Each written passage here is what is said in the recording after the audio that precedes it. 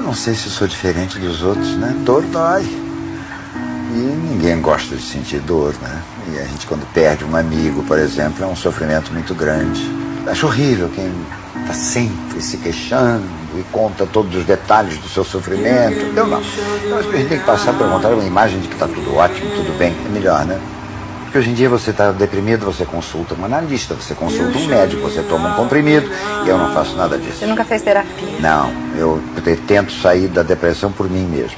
Eu acho que todos nós somos sozinhos. Né? As pessoas mais bem acompanhadas são sozinhas. Solidão é uma condição da vida. Mas nós todos somos sozinhos dentro da nossa pele, da nossa cabeça. Quando o adolescente descobre a solidão, ele se sente o mais infeliz dos seres humanos. Depois que a pessoa tem uma certa idade, eu acho ridículo as pessoas que chegam para mim e se queixam. Eu sou sozinho. Todos nós somos sozinhos.